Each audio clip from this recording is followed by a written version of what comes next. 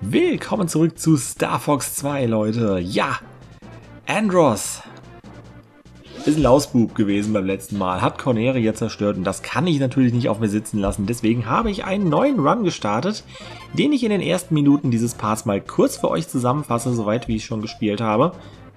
Ihr werdet also gleich noch sozusagen live kommentierte Footage sehen, aber im Moment fasse ich jetzt erstmal kurz ein paar Geschehnisse für euch zusammen. Denn in diesem Run sind schon ganz nette Dinge passiert. Zunächst einmal ging es auf in Richtung Battle Carrier. Den muss ich euch jetzt nicht komplett zeigen, weil ist halt nichts Spannendes drin passiert. Mal eben schnell den Battle Carrier zerstört und dann wollte ich eigentlich auf in Richtung Eladat, weil auf Eladat befindet sich etwas elementar Wichtiges für uns, was wir uns unbedingt schnappen sollten. Doch dann stellte ich fest, hoppala, ich muss ja zurück nach Corneria. Doch leider war es schon zu spät. Eine Rakete würde Corneria direkt treffen. Und zurück auf Corneria stellte ich dann erstmal fest, was für eine Rakete. Nämlich dummerweise und das habe ich nicht beachtet, eine 6-Komponenten-Rakete. Und 6 Komponenten bedeutet in diesem Fall, dass Corneria 30% Schaden nimmt. Ja, und trotzdem ist das der Run, den ich aktuell spiele, bei dem ich aktuell hoffe, dass wir ihn auch durchbekommen. Und weswegen ich jetzt hier auch direkt eine Bombe geschmissen habe, damit ich nicht noch mehr Zeit verplemper. ja, also das ist der Run, den wir aktuell spielen, tatsächlich. Ich ziehe es jetzt durch mit den 30% Schaden und es ist ein bisschen riskant. Aber der Grund, warum ich das tue, warum ich relativ zuversichtlich bin, dass wir das vielleicht doch schaffen, diesen Grund seht ihr jetzt hier auf Eladat. Denn auf Eladat, das kann ich euch so als Tipp geben, befindet sich etwas, was sehr, sehr wichtig ist für euren Run. Was auch immer da ist, ihr werdet es gleich sehen, das ist nämlich hier dieser nette Doppellaser. Der befindet sich immer hier an dieser Stelle, egal welchen Run ihr spielt müsst natürlich auch Glück haben, dass Elatar zu den betroffenen äh, Planeten zählt. Aber hier könnt ihr euch immer den Doppellaser schnappen. Das habe ich auch in diesem Fall getan. Und ähm, es ist wirklich wichtig, dass ihr den habt. Damit könnt ihr so viel Zeit sparen in den Kämpfen mit den Gegnern. Schnappt ihn euch. Ja, hier drin war der Schalter. Man kann auch irgendwo das Feuer ausschalten. Ich weiß allerdings nicht genau wo. Äh, deswegen habe ich mir gedacht, komm, läufst du lässig durch die Flammen und wieder zurück. Was soll schon passieren? Wir haben halt ein bisschen angekokelt, es gibt Schlimmeres. Wir hatten Slippy in unserem Team, wir haben also schon schlimmere Dinge gesehen. ja, schlimmere Dinge unter anderem nämlich auch mit diesem Gegner hier. Warum ich den jetzt zeige, warum ich jetzt den langen, atmigen Kampf mit diesem Gegner hier zeigen werde, zum einen weil ich zu diesem Zeitpunkt dachte, oh Mann, toll, diesen Run direkt zu Beginn verkackt, weil es sah sehr, sehr stark danach aus, als würde der mich töten. Ich habe irgendwie enorme Probleme mit diesen Krabbelfiechern. Ihr seht, ich habe jetzt schon kein Schild mehr. Doch wenn man denkt, man hat's verkackt, dann wird einem manchmal auch ein Rettungsring zugeworfen. Und dieser Rettungsring, ihr seht ihn hier oben, und das ist der Grund, warum ich diesen Run, der bisher noch nicht so gut lief, weiter fortsetzen möchte und für euch weiter kommentieren möchte. Das ist der Hyperlaser. Ihr habt es gesehen. Wir haben jetzt einen Hyperlaser. Das bedeutet, wir brauchen keine Angst mehr vor Starwolf haben. Wir brauchen keine Angst mehr vor den meisten Bossen hier zu haben oder Zwischengegnern oder Kernen oder was weiß ich was. Wir haben jetzt eine Waffe in unserem Besitz. Und man konnte natürlich nur noch hoffen, dass ich diesen Kern hier überstehe und glücklicherweise habe ich ihn überstanden. Ja, jedenfalls mit dieser Waffe im Besitz bin ich sehr, sehr zuversichtlich, dass wir uns sehr, sehr gut schlagen werden. Und ähm, jetzt ist natürlich die Frage, inwieweit spielt es eine Rolle, dass wir bereits zu Beginn eine 6-Komponenten-Rakete durchgelassen haben, die uns 30% Schaden gemacht hat. Ihr seht, vor Corneria ist ordentlich was los. Unter anderem diese nette Rakete hier bei der sich direkt aber bemerkbar macht, mit Hyperlaser klappt das eigentlich ganz gut, weil damit sind diese einzelnen Komponenten hier rucki zucki zerstört. Ja, Drama vor Corneria auf jeden Fall. Ein paar Angriffe, die ich erstmal abwehren musste, die ich jetzt aber nicht alle im Detail zeige. Ja, aber das hier nochmal als Beispiel. Der Hyperlaser in Action gegen diese Rakete hier.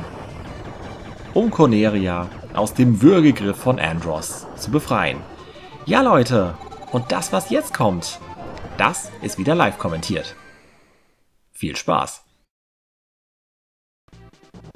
So Leute, ich bin gespannt, was jetzt passiert. Den Angriff auf Corneria habe ich erfolgreich abgewehrt. Es ist nichts mehr da, keine Rakete. Das heißt, wir gehen jetzt erstmal auf Richtung Macbeth. Andros hat tatsächlich seine Raketen noch nicht gelauncht bisher, also die, die anderen Planeten noch nicht eingenommen und von dort seinen Super-Raketenangriff gestartet wie beim letzten Mal. Insofern schauen wir mal, ob ich das jetzt hinbekomme und den zweiten Planeten befreien kann. Macbeth. So. Don't land. Sag sowas nicht, Falco. Natürlich lande ich, weil hier ist der Schalter. Hier habe ich den Schalter. Ach ja. Wir haben schon ordentlich Schaden auf Corneria. Ich hoffe, dass ich das schaffe. Ich möchte eigentlich keinen zweiten Run hochladen, den ich verkacke. Aber sollte das der Fall sein und wir werden tatsächlich nochmal draufgehen oder Corneria wird nochmal fallen, dann werde ich das irgendwie zum nächsten Mal auch nochmal so ein bisschen für euch zusammenfassen und vielleicht wirklich bis zum Ende die Geschehnisse nur zusammenfassen, dass ich den Rest irgendwie offscreen mache oder so, weil ansonsten wird es ein bisschen deprimierend. Aber wir gucken mal. Für den Moment bin ich zuversichtlich, dass wir das mit dem Hyperlaser schaffen. Nightnack. Knickknack. Hallo Knickknack, wo bist du? Ich mach dich fertig. Diese Waffe ist so schön, auch wenn sie dafür sorgt, dass wir nur zwei FPS haben. das FPS-Problem ist wirklich übel. Das muss man wirklich sagen. Das ist also, selbst für damalige, selbst für SNES-Verhältnisse ist das wirklich, wirklich mies. Also muss man leider so sagen. Das ist wirklich das ist eigentlich eine Katastrophe, aber trotzdem hat dieses Spiel wirklich sehr, sehr gute Ansätze, muss man, muss man also wirklich sagen. Die taktische Komponente hier gefällt mir wirklich sehr, sehr gut. Und ihr seht, wie fordernd der Expertenmodus ist. Also es ist auch wirklich was, wo du dich ordentlich reinhängen musst. Es ist kein einfaches Star Fox Spiel und wir ziehen das Ganze ohne Cheats, ohne Save States durch. Es wird schwierig. Aber Knickknack wiederum war nicht schwierig. Den haben wir mal ordentlich fertig gemacht hier. Night Knack. Ritter Rob. Ich erinnere mich daran, dass er Ritter Rob hieß in, in der deutschen ROM. Der gefiel mir, der gefällt mir Knickknack gefällt mir irgendwie besser. Oder Night Knack. Hat doch was. Dann kann ich ihn schön Knickknack nennen. Wo muss ich eigentlich hin? Muss ich dahin? Ich muss dahin. Ich gehe dahin. Habe ich mal spontan so entschieden. Hajo. Hajo, das ist der Kern. So, äh... Er hat natürlich so ein dämliches Schutzwand. Ich bin froh, dass er, der, dass er die auf Eladat nicht hatte. Weil, ihr habt es gesehen, ich hatte keine Energie mehr. Wegen diesem scheiß Krabbelvieh. Das ging mir aber total auf die Nerven. Aber auf der anderen Seite muss ich diesem Krabbelvieh dankbar sein, weil dank dem haben wir jetzt überhaupt erst den Hyperlaser. Also, ja, Höhen und Tiefen hatte dieser Run bereits. Jetzt wollen wir ihn angün an, an, angünstig, was? Anständig zu Ende bringen. Ich laber schon wieder viel zu viel Mist. Hier habe ich den Hyperlaser. Nimm ihn und stirb, du Kern. Des Pudels Kern ist vernichtet. Hoho. Gut so. So und nicht anders muss das in diesen Landen laufen in diesen geheimen Landen, Ländern, wie auch immer, des Andros. Im Moment gehören sie zumindest ihm. Bald gehören sie wieder uns. Gut. Macbeth und Eladat. Okay, und er schickt noch immer seine Raketen nicht auf mich. Stattdessen will er jetzt zusehen. Das liegt, das liegt bestimmt daran, dass der Zerstörer noch da ist. Das letzte Mal hatte ich beide Zerstörer zerstört. Direkt zu Beginn. Und diesmal habe ich einen übrig gelassen. Ich nehme mal an, dass er diesen Plane äh, Planetenangriff erst startet, wenn beide Zerstörer vernichtet sind. Jetzt muss ich allerdings auf den Zerstörer gehen, weil der bereitet bereits die Planetenkanone vor. Und, ähm... Oh, sehr gut. Sehr gut, der Satellit. Und das ist natürlich schlecht. Deswegen sehen wir jetzt mal zu, dass wir das Ding vernichten. Danach wird Andros natürlich alle Planeten wieder einnehmen. Aber wir haben trotzdem bisher eine relativ gute Ausgangsposition. Vor allem sind wir jetzt schon wieder in Richtung Corneria, wo die Raketen ja auch hinfliegen werden. Das letzte Mal waren wir auch viel zu weit hinten gewesen, um da rechtzeitig hinzukommen wieder. Die Great Fox hatten wir ja nicht. als Möglichkeit, um wieder ähm, uns schnellstmöglich nach Corneria zu warpen, weil die, weil die Great Fox ja wieder nach Corneria geschiftet wurde sozusagen. Und ja, jetzt sind wir schon in Corneria und können das Ganze ein bisschen entspannter angehen. So, also ich sehe seinem Raketenangriff gelassen entgegen. Gelassen vielleicht nicht, aber gelassener. Hoffen wir einfach, dass alles gut läuft und dass ich jetzt keine Leichtsinnsfehler mache, weil mit dieser Waffe muss man es eigentlich schaffen. Wenn ich es trotz Hyperlaser nicht schaffe, dann weiß ich nicht, wie ich es überhaupt schaffen soll. Dann muss ich vielleicht doch irgendwie auf Safe States zurückgreifen, aber eigentlich will ich es nicht mit Safe States machen. Es soll, ja, es soll ja besser sein als das erste Let's Play. Oh, eine Bombe! Eine Bombe! Eine Bombe! Yippie! Es ist wirklich leider nur eine. Schade. Ich hatte gehofft, ich würde jetzt Nummer drei oder vier kriegen. Das wäre jetzt cool gewesen. da hätte ich mich gefreut. So, ja. Aber auch so freue ich mich, weil Bomben sind elementar. Sehr, sehr wichtig. So, du stirbst, du Krabbelvieh. An dir habe ich jetzt einen Narren gefressen. Aber gut, du gibst mir Energie. Also du bist, du bist mir eigentlich sogar ganz wohlgesonnen. Klar, du willst mich töten. Aber wenn du dich dann besiegen lässt, dann...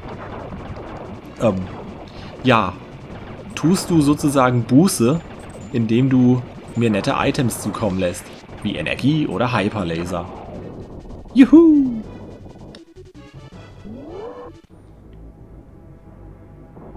Gut. Auf zum Kern, den Zerstörer zerstören und dann mal gucken, wie es vor Corneria aussieht.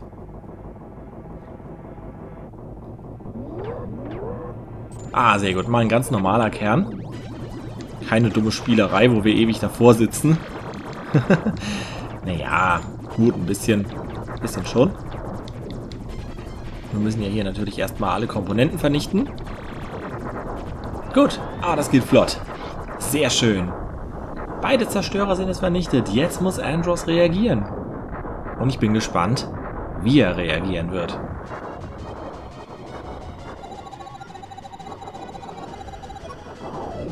bestimmt nicht allzu nett. Good show. Oh, vor allem muss ich eine Zerstörer hier außer Gefecht setzen. Er reagiert immer noch nicht. Oh mein Gott, wie cool. Habe ich einfach nur Glück? Ist das irgendwie total random? Oh nein, nicht der. Oh, das ist, das ist, das ist eine fiese Formation hier. Gut. Wegen dem hier. Der warbt sich weg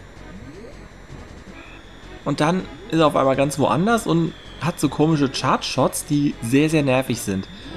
Das ist eine sehr, sehr fiese Gegnerkombination. Ich hoffe, dass ich ihn erwische. Ja, ja, ja, ja, ja. Ich habe ihn nicht erwischt. Wo ist er? Wo ist er? Da ist er. Haha. Und ich habe ihn. Gut. Puh, Gott sei Dank, nicht so schlimm, wie ich dachte. Weil der hat mich schon mal echt zur Verzweiflung getrieben.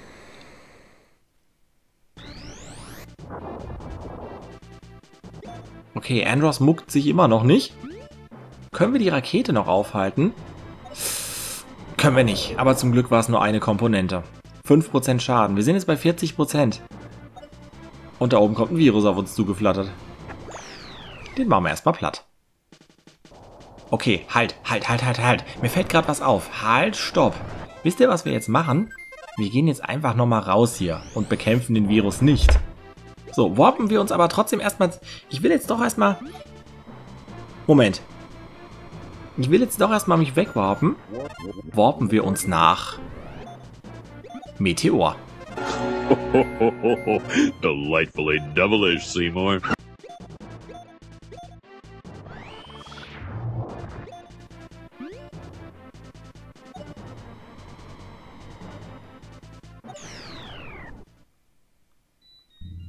So, jetzt können wir das regeln.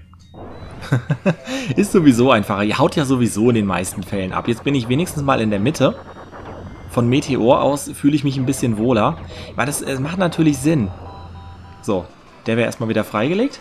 Das macht natürlich Sinn, das Ganze von der Mitte der Karte aus zu erledigen. Vor Corneria passiert ja jetzt nichts mehr. Und so habe ich auf jeden Fall die Great Fox irgendwo in der Nähe. Und kann mich schnell irgendwo hinwarpen zur Not. Deswegen habe ich das jetzt gerade gemacht. Ja, ja, ja. Jetzt kommt's, oder? Ja, da ist es. Er nimmt die Planeten ein. Gagyaha. Aber diesmal sind es nur vier Raketen. Und dieses Mal bin ich wesentlich besser positioniert. Und das war ziemlich dämlich. Weil die Great Fox jetzt wieder weggeschiftet wurde und das, was ich gerade gemacht habe, komplett sinnlos war. So, hier haben wir sechs Raketen. Da oben haben wir vier Raketen, also das heißt, die beiden dürfen wir nicht durchkommen lassen. Da haben wir eine. Und da haben wir nochmal eine. Okay. Diese beiden können wir zur Not vernachlässigen. Wichtig ist, dass wir die in der Mitte und die oben von ähm, Titania aus erledigen. Die beiden sind am allerwichtigsten. Das heißt... Boah, ich nehme erstmal die, die beim Meteor ist vielleicht. Das wird das allerbeste sein. Und dann gucken, dass wir da hochkommen. Oh, sehr schön. Das Satellitensystem, das hatte ich gar nicht beachtet. Umso besser. Umso besser. Gut, das können wir dann jetzt ganz entspannt angehen zum Glück. Oh Mann, manchmal ist mir das Glück doch hold.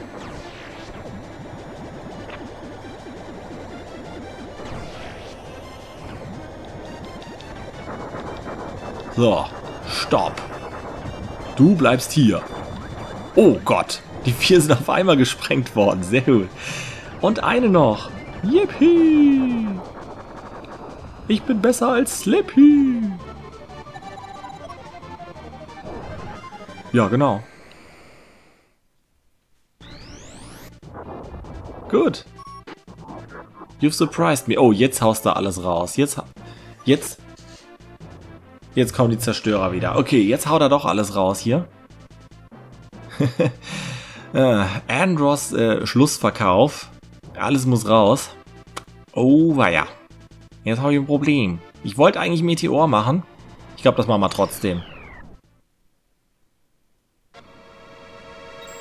Oh, fuck. Das Muttersöhnchen. Die alte Schweineschwarte. Was machst du denn hier? Oh, weißt du was? Mit meinem Hyperlaser im Gepäck machst du mir keine Angst mehr. Au. Ah. So. Dann eben so. Komm, das dauert mir sonst zu lang. Hier sind Raketen unterwegs. Und alles mögliche und Zerstörer. Da kann ich mir jetzt bei dem leider nicht so viel Zeit lassen. Wir haben jetzt zum Glück noch Bomben. Die eine extra Bombe hat sich also schon mal bezahlt gemacht. Oh, okay. Ich würde sagen, die eine Rakete hier noch und dann. Dann gehen wir nach Meteor. Weil hier, die macht nur, ein, äh, die macht nur 5% Schaden. Mein Gott, die kriegen wir sowieso nicht mehr. Die vernachlässigen wir jetzt einfach mal. Wichtig ist, dass Meteor befreit wird, dass ich da wieder hin kann und dass wir vor allem einen Planeten weniger haben, von dem Raketenangriffe aus stattfinden können. So. Dann fühle ich mich hier nämlich wesentlich wohler. Und ob mir das gelingt, ob wir auf Meteor Schwierigkeiten bekommen oder nicht, oder ob wir einen Triumph erringen, das erfahrt ihr im nächsten Part.